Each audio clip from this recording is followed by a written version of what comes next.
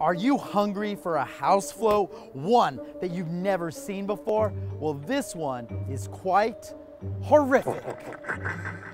The theme is Little Shop of 2020 Horrors.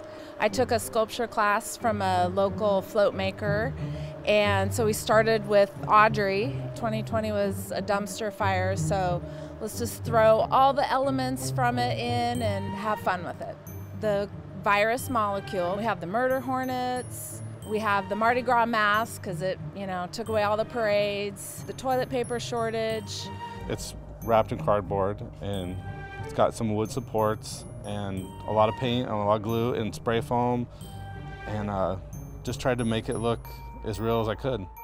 The dumpster fire, that has fans that get the chiffon blowing. It's just made out of wood and black paper, but it looks, from a distance, it looks pretty real the neighbors weren't surprised. It's kind of the norm for us.